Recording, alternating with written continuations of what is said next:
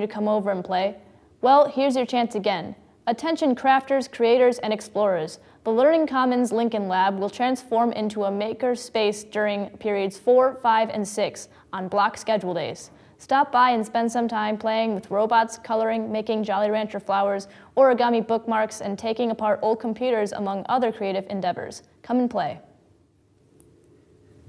Come to Potbelly's on April 19th for a fundraiser for Circle of Friends from 4 to 7 p.m. No coupon needed. Yoga Club meets after school on Mondays in the yoga room. Students and staff are welcome. No prior experience needed.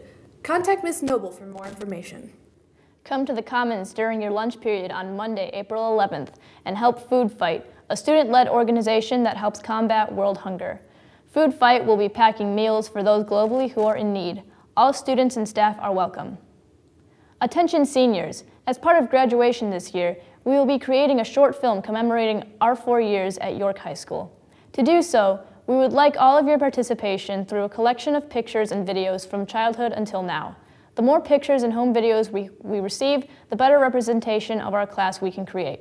If you wish to submit any pictures or videos from your childhood, please attach them to an email and send them to the email below with the subject Senior Pictures. If you would like to drop off a physical picture, you can do so in the box in the YTV lab.